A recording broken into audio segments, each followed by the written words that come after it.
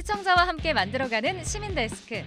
가을의 시작과 함께 열린 9월 시청자위원회. 이번 달은 어떤 발언들이 오고 갔을까요? 시청자에게 편안하게 다가갈 수 있는 경제 뉴스에 대해 고민해 봅니다. 알기 쉬운 설명에 깊이 있는 내용까지 아우르는 경제 뉴스 만들기. 그 바람직한 보도 방향을 모색해 봅니다. 이 밖에도 YTN 보도에서 부족한 점들은 없었는지 살펴봅니다. 정책 중심 보도의 미래, 그리고 차세대 뉴스 OTT를 지향하는 이슈맵의 방향성까지 함께 진단해 봅니다. 애정어린 고견으로 채워진 11기 시청자위원회 마지막 모습들 잠시 후에 만나보시죠. 시청자 관심이 집중된 이번 주 뉴스는 어떤 소식일까요? 시청자 브리핑 시시콜콜 weekly pick 여러분의 목소리로 채워집니다.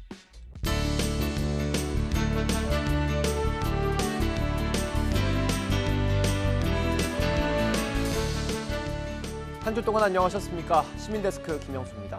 짧고도 길었던 추석 연휴가 훌쩍 지나고 어느덧 10월이 시작됐습니다. 제법 가을 기운이 풍기는 것 같은데요. 10월에는 5대 국경일 가운데 하나인 개천절이 자리하고 있습니다. 고조선의 탄생을 기념하기 위해 제정된 국경일입니다.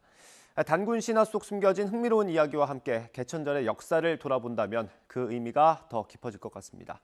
다른 국경일과 마찬가지로 태극기 다른 것 잊지 마시고요. 오늘 시민데스크는 시청자위원회 소식으로 채워보겠습니다. 화면으로 만나보시죠.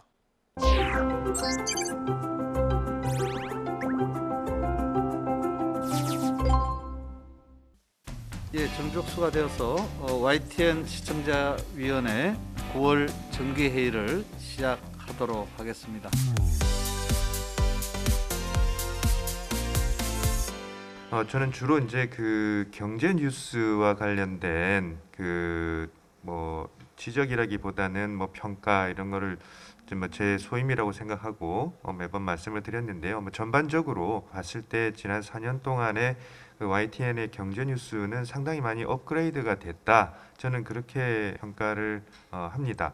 뭐 경제 많이 어렵다는 인식들이 그 뭐 여러 그 시청자들 사이에 또 국민들 사이에 있는 거는 사실이고요. 근데 그 YTN에서 전달되는 그 경제 뉴스들이 어쩌면 또 쉽게 잘 설명도 어, 하면서 원래 초기에 제가 봤던 그런 엉뚱한 실수들을 하는 어, 빈도들도 상당히 많이 줄지 않았나 이렇게 평가를 어, 하고 있는 것입니다. 근데 최근에 이제 여러 경제 뉴스들이 인플레이션이라든지 미국의 금리 인상 등을 비롯해서 그런 이슈들이 계속 쏟아져 나오니까 오히려 이걸 차분히 설명하는 것보다는 그 패널의 설명을 들으면서도 특히 이제 뉴이저의 성격이 이렇게 그 진행자와 패널 간에 상당히 뭐 대담 형식을 좀 취하는 그런 부분이 있기 때문에 오히려 이제 진행자께서 그거를 막 설명을 좀 먼저 하고 또 설명을 다시 듣고 하는 그런 이제 형식으로 진행이 되는데 한 번씩 그 패널 설명을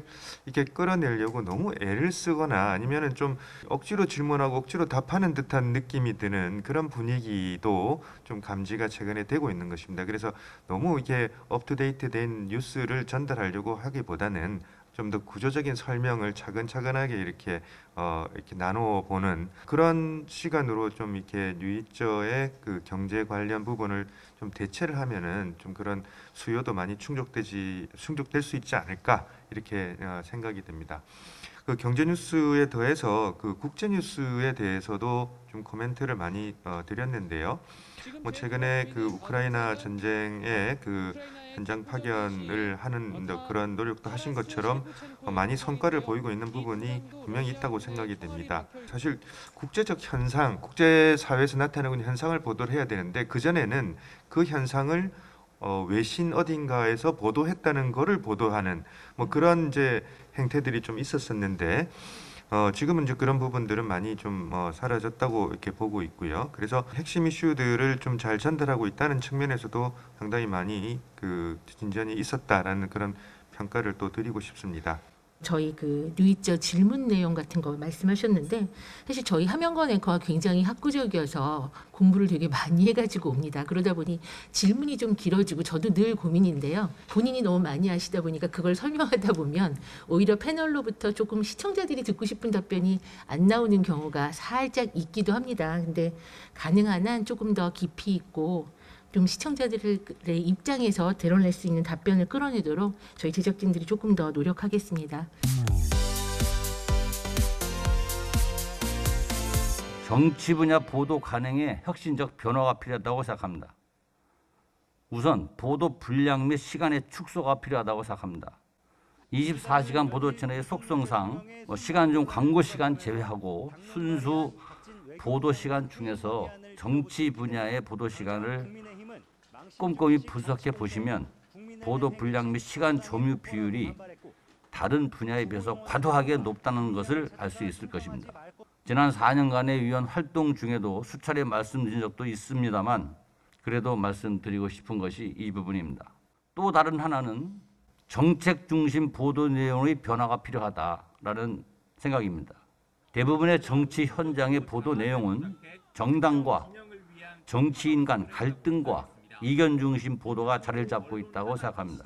전문가 패널 토의나 각각의 소속 정당이 다른 정치인 등이 출연해서 대담을 나누는 보도에서도 소속 정당의 이념에 부합하는 정책 방향, 여론의 추이, 효율, 경제적 가치, 민생에 중점을 두고 토론하고 싸워야 하는데 말꼬리 하나를 가지고 잘했다, 잘못했다, 어떻게 생각하느냐 등의 정답이 뻔한 질문을 하는 또는 거기에 답하는 식의 보도 패턴은 바뀌어야 하지 않느냐 생각합니다. 오늘 회의로 4년 동안 해오던 시청자위원 임기를 마칩니다. 방송의 비전문가가 시청자 의견을 대변한답시고 이것저것 어줍잖게 말씀을 드렸던 것 같습니다. 그런 와중에 저도 많은 것을 배우고 알지 못했던 새로운 사실들도 알게 기회가 되었다고 생각합니다. 코로나19 팬데믹 등 글로벌 위기 속에서 위협을 무릅쓰고 보도에 앞장서 주신 일선 취재진과 임원님, 4년 동안 함께 동고동락한 우리 시청자 위원 여러분께 진심으로 감사하는 말씀을 드리고 YTN의 지속적인 성장 속에서 저널리즘의 승화를 기원합니다. 정치 뉴스의 비중을 둘러싼 논쟁은 사실은 어, 회사 안에서 구성원들 사이에서도 일상적으로 이루어지고 있습니다. 근데 여러 가지 저희가 갖고 있는 객관적인 조건 속에서 그 부분에 대한 다양한 시각이 공존하고 있는 게 사실이고요.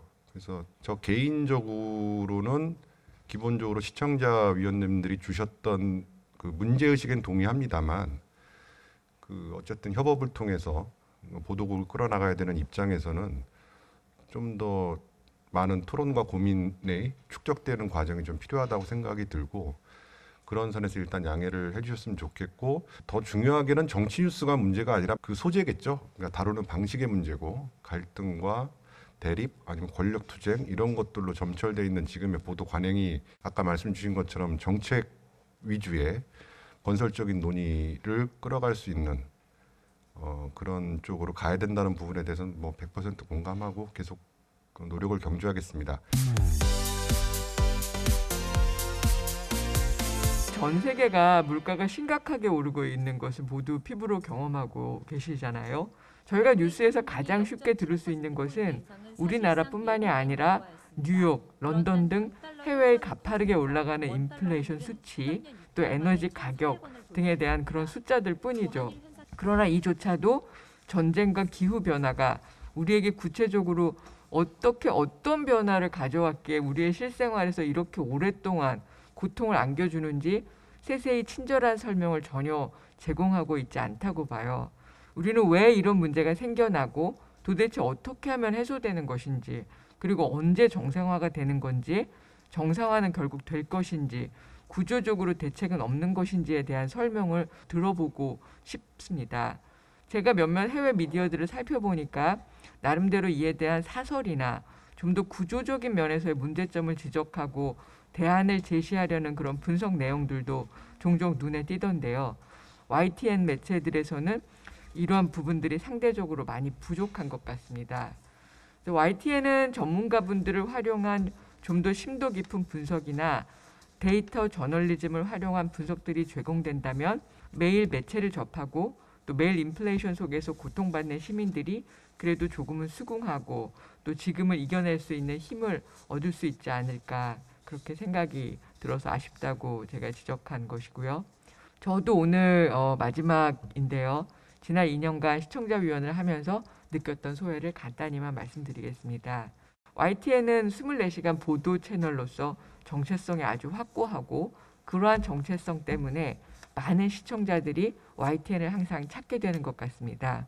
신문에는 사설이 있다면 YTN은 매시간 수많은 각계의 전문가분들을 모시고 그분들의 입을 통해서 이러한 메시지를 전달할 수 있을 것이라고 생각합니다. 하지만 때로는 YTN 스스로도 어떤 일을 분석하고 제시할 수 있어야 된다고 생각해요. 좀 더 거시적이고 분석적인 내용을 담은 친절하면서도 우리 미디어 이용자들에게 insight를 줄 수 있는 그런 기사들도 지속적으로 생산이 계속되었으면 좋겠다는 당부 말씀입니다. 제가 YTN 시청자위원회 하면서 생각해 보니까 크게 한 세 가지 정도를 많이 어, 중점적으로 봤던 것 같습니다. 하나는 권력 감시를 YTN이 잘하고 있는지, 두 번째는 미디어 환경이 많이 변했는데 어, 어떤 뉴스라는 장르의 다변화를 우리 YTN이 열심히 하고 있는지, 또 세 번째는 뭐 인권이나 소위 말하는 따뜻한 뉴스, 어, 소수자 뉴스, 인권 뉴스를 많이 다루는지 이 세 부분에 대해서 저희가 굉장히 많이 예, 봐왔던 것 같은데 어, 뭐 종합적으로 말씀드리자면은 뭐 저는 사실 지금 YTN이 조금 더 잘하면 더 좋겠지만 큰 불만이 없습니다. 권력 감시도 최근에 그 영빈관 터진 다음에 YTN이 추가적으로 단독 보도했죠. 거기 이제 뭐 레드 파- 레드 카펫 얘기도 나오고 택배 검색센터 얘기도 나오고 그런 보도도 하셨고 또 좀 지나간 얘기지만 경찰국장 그 뿌락치 논란도 아, 저 아마 기자협회 상 받으신 걸로 알고 있습니다.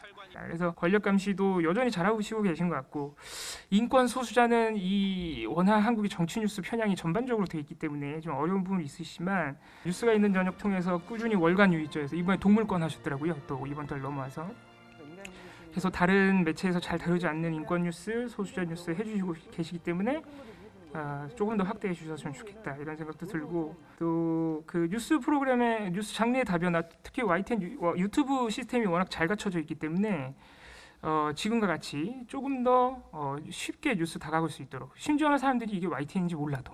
어, 보통 유튜브는 또 그렇잖아요 유튜브 콘텐츠라는 게. 그런 노력을 좀더 많이 기울여 주셨으면 좋겠습니다. 이게 YTN인지 모르고 봤는데 재밌는 프로그램이 상당히 많았거든요. 그 지난 대선 때도 그, 그 래퍼 한 분이 이렇게 인터뷰하고 다니는 프로그램이 있었습니다 제가 처음에 그걸 우연히 봤을 때는 YTN인지 몰랐거든요 나중에 이제 보면서 알게 된 것인데 어, 그런 노력을 앞으로도 해주셨으면 좋겠다 이런 생각이 듭니다.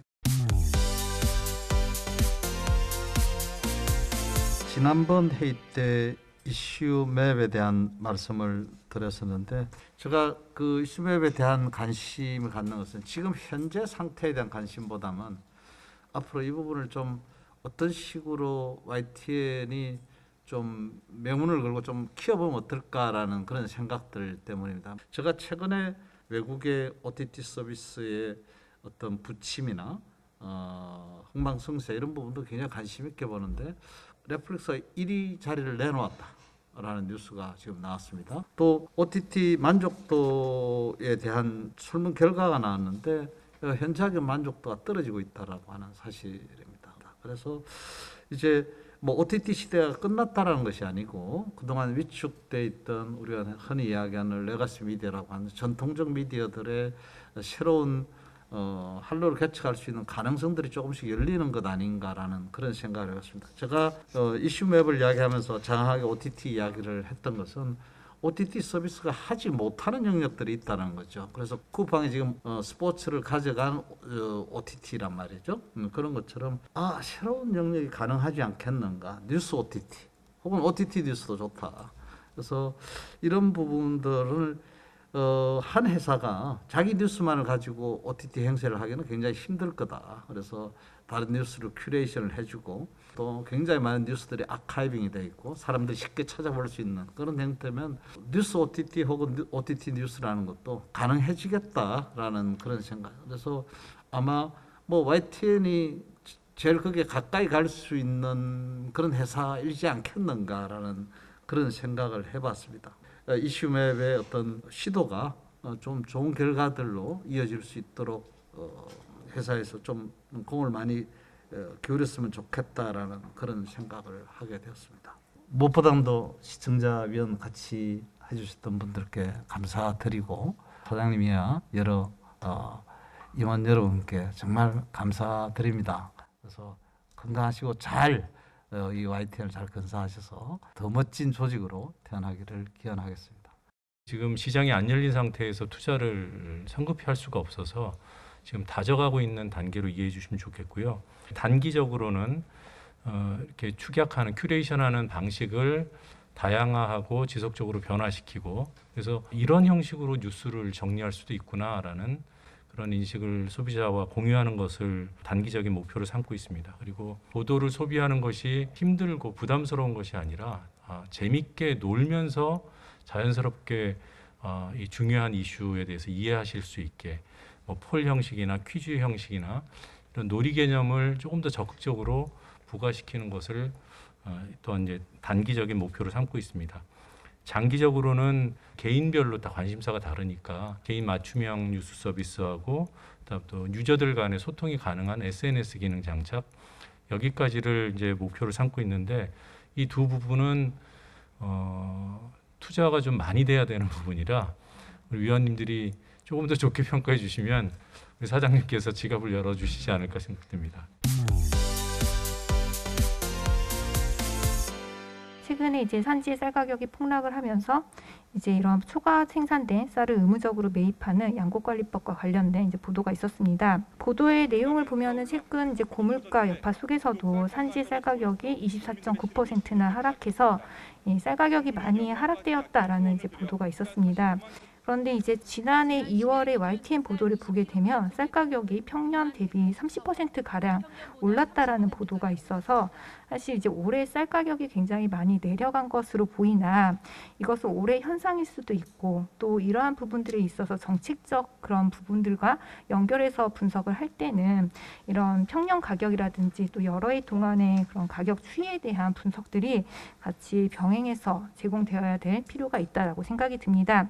물론 YTN에서도 9월 26일자 뉴스라이브 보도를 통해서 지난해 흉년으로 인해서 어, 쌀 가격이 올랐다라고 언급이 있었지만 전반적인 보도의 내용에서는 올해 쌀 가격이 크게 폭락했다라는 그런 보도가 강조가 되었습니다. 또한 이번 양곡관리법 개정과 관련된 보도에서 사실 이제 지금은 이 보도가 약간 정치적 이 여야의 정치적 공방으로 좀 보도가 되고 있지만 사실 이제 양곡관리법의 개정은 또 소비자들의 쌀 가격에도 영향이 미칠 수 있어서 사실 좀 소비자의 측면에서 이 법안에 대한 여론 동향이라든지 또는 의견에 대해서 보도가 함께 이루어졌다면 좋았을 것이다라는 아쉬움이 있었습니다. 어, 마지막으로 제가 이제 시청자위원회 활동을 하게 되면서 지난 발송들을 살펴보면 사실 YTN이 물론 굉장히 뭐 가끔 보는 소비 시청자들 입장에서는 방송의 변화가 크게 없을지다라고 없다라고 생각할지 몰라도 굉장히 좀 감각적으로 그래도 이러한 그 전달을 뉴스 전달을 하려고 좀 시도하고 노력하는 측면들이 좀 돋보였다라고 생각이 듭니다. YTN에서 그동안 유튜브를 통해서 계속 제공되었던 자막 뉴스 같은 경우는 사실 방송 3, 4일 지금 유튜브 들어가 보면 다 자막 뉴스식으로 공, 제공이 되고 있어서 이런 부분들에 대해서 YTN이 좀 더 감각적으로 먼저 대응한 부분들도 있었고 또 지난 2월에 보도했던 그대에게라는 그런 선거 보도를 앞두고 했던 방송들을 보게 되면은 사실 비슷한 화두를 던지고 있지만 이런 부분들에서 YTN이 굉장히 감각적으로 다루고 있다라는 부분들이 되어서 이러한 변화들을 뭐 당장의 소비 시청자들이 느끼지는 못하겠지만 지속적으로 이런 변화들을 하신다면은 시청자들도 아 YTN이 조금 더 어, 좀 감각적으로 변하고 있다라는 그런 생각들을 많이 가지실 것 같습니다. YTN 탐사보도 프로그램인 탐사보고서 기록이 이달에 좋은 프로그램으로 선정이 돼서요. 어, 사실 굉장히 보면서도 어, 심려를 많이 기울이는구나라는 것을 어, 느낄 수 있었습니다. 나름 이제 인권 음, 활동을 하는 사람으로서 소수자와 약자 아, 그리고 다른 시각으로 어, 뉴스를 보기 위한 노력들을 많이 했지만 많이 모자랐습니다. YTN이 보도 채널로서 사실은 이 전문 매체로서 이렇게 에, 매체에 미친 영향이나 어, 우리 시민들이나 시청자들에게 미친 영향이 크기 때문에 더더욱 그런 것들을 어, 노력해야 되지 않을까 사회적 약자의 목소리를 대변하고 중공영 방송으로서의 역할을 에, 톡톡히 해야 된다라는 어떤 믿음으로 임해왔던 것 같습니다. 향후에도 어, 이러한 것들이 조금 더 진전되고 프로그램에 반영이 될 수 있었으면 좋겠고요. 특히 어, 패널 프로그램에서 계속 제가 처음부터 끝까지 말씀드리는 거지만 너무 정치 편향적으로만 어, 형성되지 않았으면 좋겠다라는 말씀 드리고 싶고요.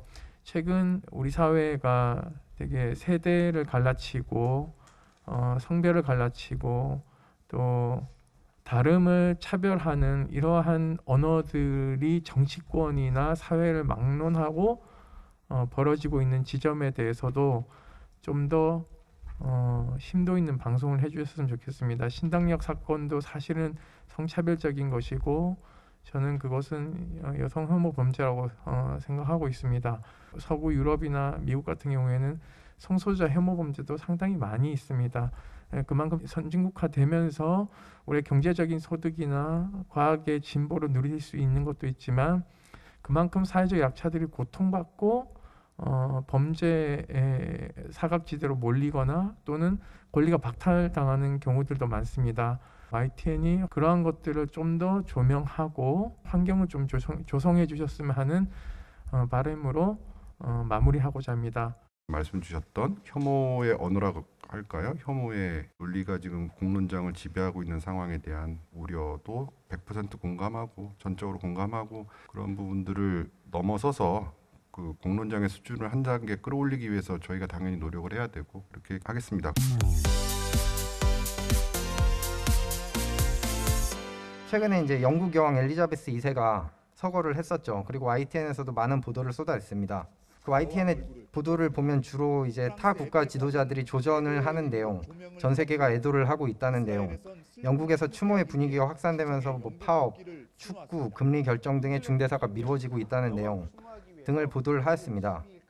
그리고 또 그 얼마 후부터는 조문을 위한 정상들이 그 방문을 하면서 조문 애교에 대한 보도도 하였습니다. 이와 같은 보도를 보면서 YTN이 중심을 잘 잡고 보도를 한 것인지 좀 의문이 들었습니다. 왜냐하면 영국 국왕은 영국에서 국민 통합의 상징일진 모르지만 그 영국 식민지였던 국가들에서는 그 평가가 다를 수 있습니다. 실제로 BBC 같은 외신에 따르면 호주에서조차도 엘리자베스 2세 서거로 조기 개항하는 것과 2주간 의회 일정을 중단하기로 한 결정도 모두 비판을 받았다고 합니다. 그런데 이제 YTN에서는 영국 여왕 서거와 관련해서 식민지와 관련된 보도를 거의 하지 않았습니다. 최소한의 중, 그 형식적 중립조차도 지키지 못한 것이라고 생각이 되었습니다. 보도에 대한 미흡한 점도 말씀드렸고 또 예전에도 이것저것 또 지적을 했지만 시청자위원으로서 2년간을 지내면서 이제 총평을 한번 말씀드리자면 전체적으로는 좀 잘 해왔다는 평가를 드리고 싶, 싶습니다. 일단 그 객관적으로 보도를 하면서 분석을 하려는 태도가 보였고 시청자위원회에서 나온 지적사항에 대해서도 그 시정을 하려는 움직임도 보였습니다. 그래서 지속적으로 노력을 하려는 모습에 대해서는 후한 점수를 주고 싶습니다. 그래서 앞으로도 계속 노력하는 태도를 유지해 주시기 바랍니다. 뭐 엘리자베스 여왕 문제도 내부에서도 조금 제국주의 시대 유산에 대한 뭐 비판적인 접근이랄까요? 뭐 그리고 아니 입헌 군주제를 둘러싼 다양한 논란 뭐 이런 부분에 대한 조명이 필요하다는 의견도 있고 더 나아가서 그날 장례식을 유의저 시간대였습니다만 어느 비중으로 어떻게 달아야 되는지에 대한 고민도 좀 있었는데 결과론적으로 조금 미흡하게 비춰지는 부분이 있는데 제가 누- 누차 말씀드리는 건 이제 지적해 주시는 부분들에 대한 내부에서 고민이 있었다는 걸 자꾸 설명을 드리려고 해요. 그러니까 다음에 기회가 되면 담아낼 수 있도록 노력하겠고 그동안 YTN에서 여러 가지 부족한 점이 많았습니다. 그래서 그런 부족한 점을 시청자위원회를 통해서 시청자분들을 대표해서 항상 애정어린 조언과 고언을 해주신 위원님들께 감사의 말씀을 드립니다. 시청자 위원님들의 또 마지막 참석하시는 분들의 말씀을 또 들으니 뭉클한 마음도 들고 감회가 새롭습니다. 특히 앞으로 이제 YTN이 어떻게 해야 될 것인가, 앞으로 어떻게 가야 될 것인가를 우리 위원님들이 한 분한 분이 말씀을 해주셔서 경청을 하면서 가슴 깊이 새겼습니다. 그러면 오늘 그 YTN 시청자변의 9월 정기회를 이것으로 모두 어, 마치도록 하겠습니다. 수고하셨습니다. 고생하셨습니다. 예. 예.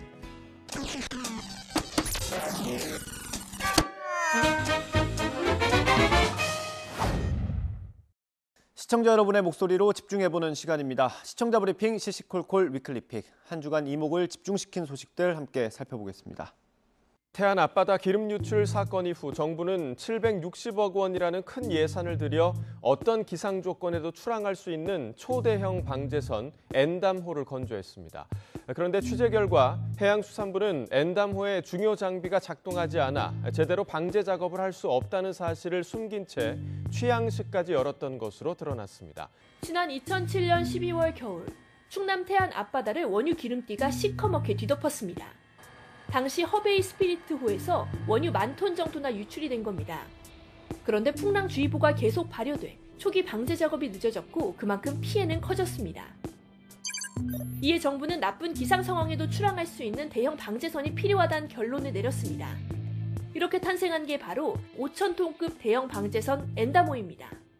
그런데 취재 결과 엔다모는 치명적인 문제가 있는 걸로 확인됐습니다.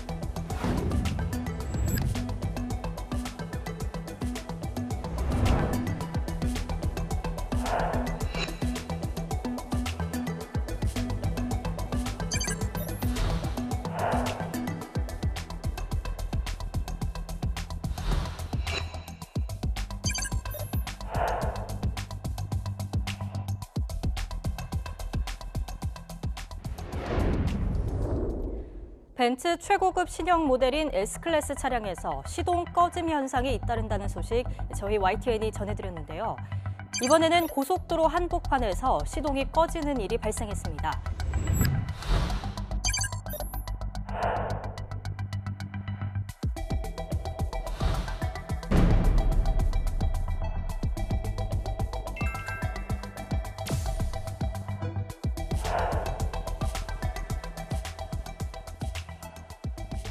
벤츠 코리아에서는 차량 판매한 데다 밀고 중대기아람이니까 벤츠 코리아에서 책임지는 거 아니냐고 장기간으로 가면 고객이 손해다. 이런 식으로 계속 회유하고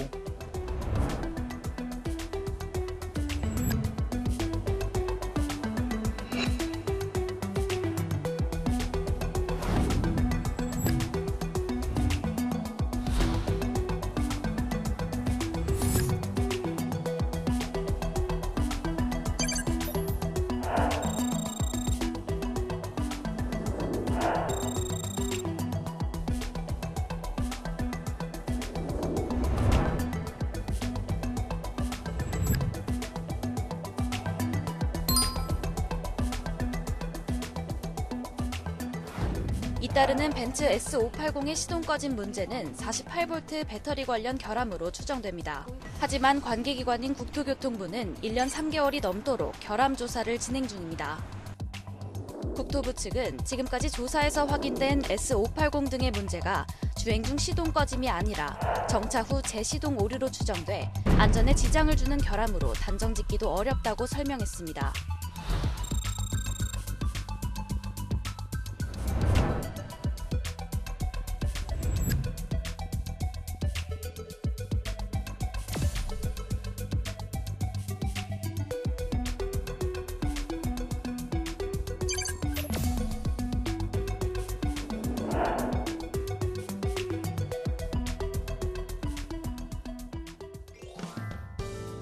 요즘 농민들이 쌀값이 폭락하니까 논을 갈아엎고 이렇게 하는 그 뉴스를 많이 봤습니다. 물론 이 쌀값 대책을 못 내세우는 정부도 문제가 있지만 농민의 이권을 앞세우는 농협에도 책임이 크다고 생각합니다. 농협은 농민들의 처우와 그들의 복지를 위해서 노력한다기보다는 돈 장사하는 일반 금융기관보다 더 한술 더 뜬다고 생각해요. YTN에서 이걸 잘 방송을 해서 반영해서 이런 문제도 해결하는 데 앞장서 주시기 바랍니다.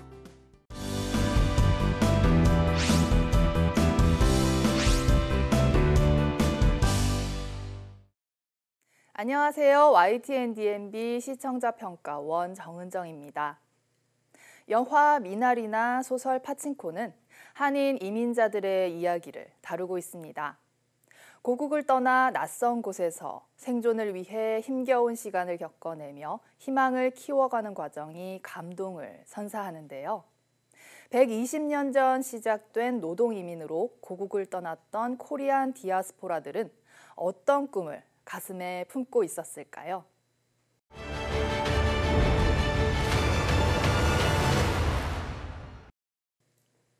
코리안 디아스포라의 꿈 1, 2부는 1902년 미국 하와이의 사탕수수 농장으로 떠났던 한인 이민자들과 그 후손들의 이야기를 전하고 있습니다. 최근 문화적으로 주목받고 있는 한인 이민자들의 실제 역사를 엿볼 수 있는 시간이었습니다. 디아스포라는 흩어지다라는 뜻으로 본토를 떠나 타국에서 살아가는 사람들을 포괄하는 말이라고 합니다. 세계 각지에 흩어져 살아가는 한인 디아스포라는 750만 명에 이른다고 하는데요. 일부 사탕수수 농장에 뿌리를 내리다를 통해서는 주로 박물관 관장, 연구소 소장, 학자 등 관련 전문가들의 설명, 사진과 문헌 자료들을 활용해 1902년 시작된 한인 이민자들의 하와이 노동 이민의 시작을 역사적으로 촘촘하게 그려내고 있습니다. 한인 이민자들의 역사를 간직한 민속촌을 찾은 것도 흥미로웠습니다. 민속촌에 재현된 당시 모습들은 하와이의 아름다운 풍광과 대비되는 고단한 노동 이민의 현실을 잘 보여주고 있었습니다. 2부 달콤한 결실을 맺다는 힘겨웠던 이주 생활을 희망과 꿈으로 채워 마침내 성공적인 정착을 이룬 선조들의 이야기를 후손들의 입으로 직접 들을 수 있어 더욱 흥미로웠습니다. 이민자들의 후손들은 선조들이 악조건 속에서도 고국에 독립자금을 보내고 경제적, 사회적으로도 성공을 이룰 수 있었던 지혜와 끈기, 용기를 자랑스럽게 생각하고 있었습니다. 그들은 여러 가지 방식으로 자신의 뿌리를 궁금해했고 간직하고 싶어 했으며 또 그것을 영화로 만들어내기도 했습니다. 후손들의 입으로 듣는 이야기들은 그 자체로 구술사적 가치를 갖고 있기에 이것을 영상으로 기록한다는 점에서 코리안 디아스포라의 꿈은 매우 의미 있는 방송이라는 생각이 듭니다. 이민자들의 사례를 풍부하게 소개한 덕분에 한인 이민사의 좀 더 다양한 면모를 만나볼 수 있었던 점도 돋보이는 장점이었습니다. 코리안 디아스포라의 꿈 1, 2부는 하와이 사탕수수 농장으로 떠났던 한인들의 이야기를 다뤘습니다. 도입부의 고향과 타향의 경계에서 새 역사를 만드는 사람들이라는 표현이 인상적이었는데요. 세계의 어느 곳에서든 한국인임을 잊지 않으면서도 살고 있는 곳에서 도움이 되는 사람이 되고자 노력했던 선조들의 역사를 알게 되어 뜻깊은 시간이었습니다. 시민데스크는 시청자 여러분들의 다양한 의견을 기다립니다. 방송에 대한 여러 의견들 SNS와 홈페이지 또 전화를 통해서 남겨주시고요. 저희는 소중한 시청자 의견으로 돌아오겠습니다. 시청해주신 여러분 고맙습니다.